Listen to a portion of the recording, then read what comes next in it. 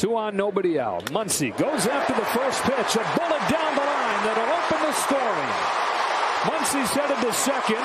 Freeman's headed home. So is Trea Turner. Fastest man in the sport scores standing up.